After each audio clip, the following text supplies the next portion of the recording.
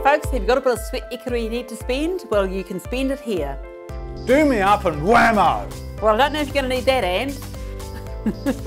Can I use this? Yeah, I reckon. yeah. Hey folks, if you've been looking for a do-up, this is it. This home has got great bones, it's nice and solid, lovely wooden joinery. It's something you could move into straight away if you really wanted to. Hey, tell us a bit about the zoning here, Anne. Oh, it's Hill School Zone, full of lovely children, I'm sure.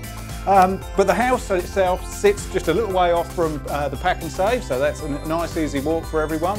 We've got a heat pump for a bit of extra comfort. Rooms are all really, really good sizes. Uh, and a separate laundry too, which a lot of people really like. It's a good idea having that. Yeah, absolutely. We've got a garage and we've also got a carport and we've got a basketball hoop.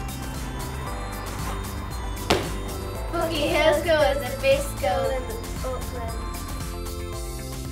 Well, here we go, folks. I'm sure you, this has ticked a few boxes if you like to do your property up, add your own value and all those things to it and get that sweat equity going. We are going to auction. The best thing about auction, you know you can buy on the night and that's so good rather than going to a terrible multi-offer where all the buyers are putting them offers in and you don't know whether you got it and you gotta wait and see what happens.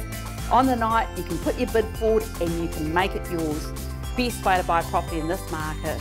So bring your basketball, bring your eyes, come and have a look and uh, bust one out on the hoop.